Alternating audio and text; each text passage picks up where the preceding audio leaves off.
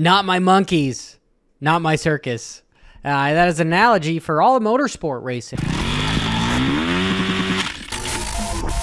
Uh, what's funny is there's like we all know that the economy and everything we're, we're going through a transition period where there's a big gap between kind of the middle class to the wealthy and um, both sides whether it's left or right everybody is not that happy well in motorcycle racing all the sanctioning bodies are happy but yet the riders are now starting to speak out about damn time that they're not that happy right? The sanctioning bodies, Feld, MX Sports, um, FIM, AMA.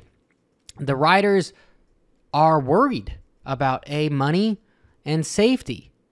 But again, the guys that own the circus, they've set in place rules and have done this for so long that everyone has gotten used to. This is just how it is. If you want to be part of the circus, you know, you've got to be one of the monkeys and you just got to go with the flow. But I commend Jeffrey Herlings for speaking out because he is somebody in the sport that people will actually listen to because of just the clout that he has. And same thing with Jace. Jace has a huge platform where millions of people uh, view his his podcast and his videos. You know, so he's in a position to influence potentially what might be said. I'm a, a small activist, but I, I, do know that it's it's a very small part of the equation. We're talking like less than one percent, you know. Uh, but the the point is is try to get the community going to understand that hey people are wanting to change and i talk a, a shit ton about safety and that the riders don't want to ride anymore you look here let, let's just listen to Herlings. as an athlete um i I would like to say many more things, but for me, that will freaking Saturday need to be gone. You seen Thomas Kjær Olsen, he's in freaking coma because that qualifying heat. Now Maxime Renaux, he broke four vertebrae because that qualifying heat. Why take that extra risk on a Saturday? It means for nothing.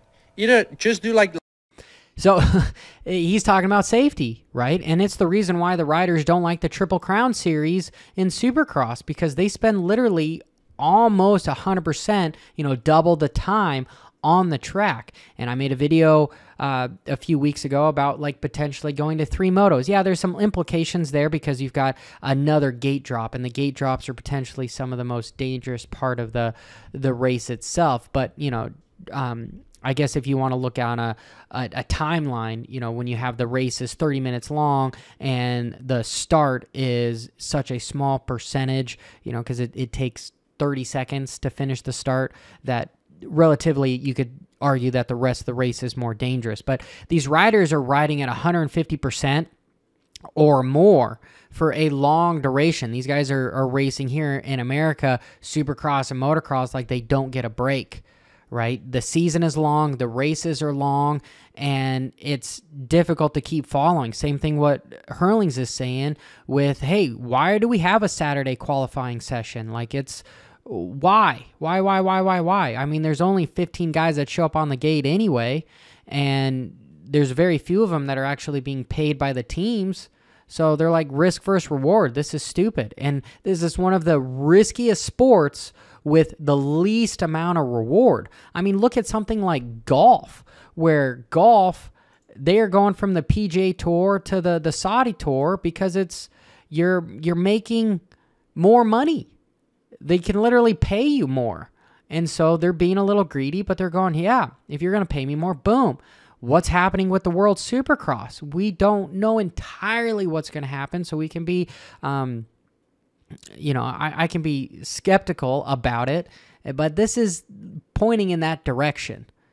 Okay, you've got riders like Tomac, uh, Marvin, um, gosh, Webb that all want to do supercross only deals. There's a lot of guys. Yeah, you could argue that, you know, McGrath started with supercross only, but he was like one of the top guys, like just one guy of the field that was like, oh, I'm just going to race supercross, you know, and then Stewart said, oh, I'm, I'm just going to race supercross one year. Like, that's okay. But when you have some of the top 10 guys doing that, it's a problem. And this is, again, where we're going with that innovation where you need to keep innovating. And in that podcast, Jace and Herlings talk about like uh, the world supreme F1, how they're changing rules every three years. And that's how the world supercross is kind of based upon something that's actually been proven to work, right? So again, if you don't innovate, you get left behind. And there's so much with the sport becoming more risky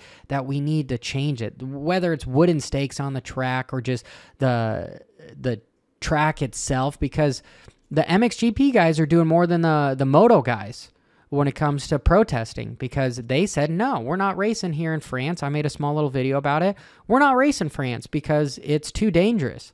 You know, and and yeah, there was a lot of comments that I read that were like, oh, this is motocross. These are man's man, and uh, you know, show a little bit of mud. Like, come on. But coming from their point of view, they're like, hey, I've got a family. Here's all the risks that line up. Uh, I'm getting paid to race. My contract has to be fulfilled if I'm to finish the season. You know, who knows what kind of they have on the line. But for a qualifying race, they hell yeah, they would rather line up 25th without the qualifier and race the thing that actually matters than not really the qualifier. Like the risk versus reward just isn't there. You know, see, I'm, I'm coming from an analytical kind of a, a, a trading, you know, money perspective. Like you don't do it if it doesn't make sense. And a lot of this stuff doesn't make sense. We need to innovate. The sport is way more risky. The bikes are way faster. Um, the tracks are way gnarlier. The riders are even more talented. And so the injuries are worse. Like it's not worth it to do a qualifying race and get paralyzed. Like, uh, da, da, da. Same reason, again, I'm digressing and repeating myself that the riders don't like the Triple Crown series, right? And it, it's hard to sell this sport to make more money when it's so long. Like, could there potentially be a way to move this stuff to pay per view?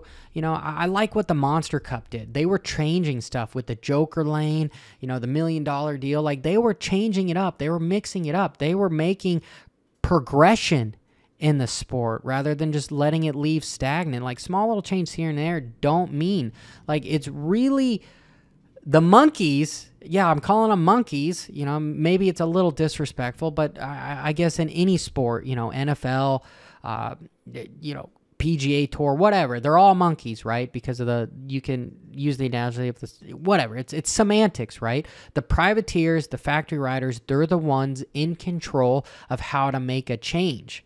And I guarantee you, if we've got factory riders like Herlings saying how bullshit this is, how many hundreds of privateers that have their pro license say that this is entirely bullshit because they're the ones at the bottom of the barrel not making damn anything. They're the gap between privateer and factory rider when it comes to wages is ridiculous. Most of the privateers that I talk about that even get inside the top 10, top 20 at nationals and supercross, they're like, cool, I, I, I broke even. I broke even, maybe made a little bit of money, maybe. But making a small amount of money versus the risk that you're taking is a giant ass problem, right? This is a, a, a cultural problem in the sport of motorcycle racing. And how do you change it? Yeah, money would change it, right? But the question is, is how do you get more money to the sport? Well, there, there's that saying, you know, you, you do the same thing over and over again and expect a different result. It's the definition of insanity. You've got to mix it up because something is going to stick. Like we live on something on social media where, you know, this post might get this amount, this might get this amount of views, and then boom, something goes viral, right? We need that change in the sport to go viral. And without having more things out there that are thrown on the wall, like it, it's considered a, a confident rider versus a non confident rider. A confident rider is going to change his lines behind somebody. He's going to constantly be taking different lines to find that way around the dude because he knows, hey, okay, I lost a second here. That that didn't work. So now he knows I'm not going to take that inside line the next lap. I'm going to try something else because eventually what he tries gets around that rider. The not so confident rider falls in line and just does the blue groove right behind him and is never going to progress, never going to pass the rider. That's what the sport needs to do is the innovation. And we all talk about this constantly about ideas. And it's really effing cool to see some of the top riders kind of getting involved, right? Power to Jace, power to Herlings. Let me know in the comments below. Keep it WFO, guys. WFO.